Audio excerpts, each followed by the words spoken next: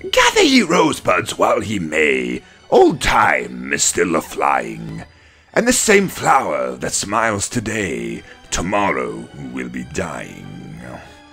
The glorious lamp of heaven, the sun, the higher he's a getting, the sooner will his race be run, and nearer he's to setting.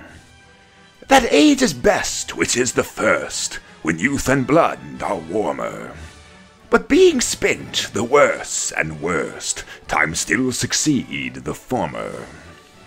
Then be not coy, but use your time, and while ye may, go marry.